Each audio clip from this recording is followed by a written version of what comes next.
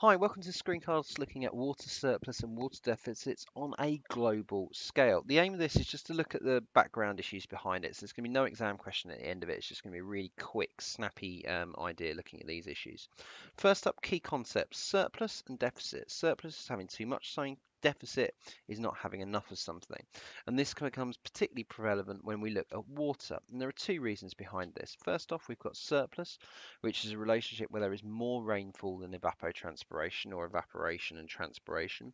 And then deficit occurs where there is less rainfall than evapotranspiration or evaporation and transpiration.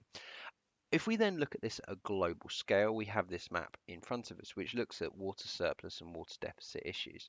Now, some areas of the world experience large amounts of rainfall, but still end up in water deficit due to the amount of heat. One example of these areas on the equator here, um, in particular Ethiopia and Kenya, where they have large amounts of rainfall, but it's unseasonal, um, sorry, it's seasonal, and therefore the high, high temperatures manage to evaporate large amounts of water. These areas here particularly experience water deficit because it's so hot, okay, and there's very little rainfall there, um, so you end up with large areas of high pressure. Australia is the same, as is this area of the USA, which ironically enough includes Las Vegas. This area experiences water surplus. Huge amount of rainfall, very little evaporation, well, there is some evaporation and transpiration, but it combines and you end up with more rainfall than deficit. And all of these areas are the same. But what happens in most places is you end up with some kind of balance. Okay, um, and this and this is the relationship which occurs around the globe between water surplus and water deficit.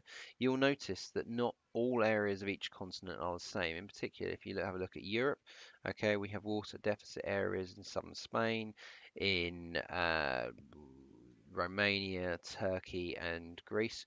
And then, if you consider Africa, you've got Northern Africa and Southern Africa, which experience large scale water deficits, but then you've got Central Africa on the band of the equator, which experiences uh, water deficit to a certain extent, but in some places, water surplus. Now, the key thing behind this is a couple of reasons. Number one, convectional rainfall. Along the equator, you experience lots of convectional rainfall, and therefore you end up with areas of high water surplus. In these areas, you end up with low levels of rainfall because there's no water to evaporate in the first place, therefore you don't get rain. Okay. Um, in the UK, this can be simplified down a bit more when you have relief rainfall affecting one side of the area, one side of the country, as opposed to the other side of the country. That really summarizes the concepts of surplus and deficit. So thank you for this screencast.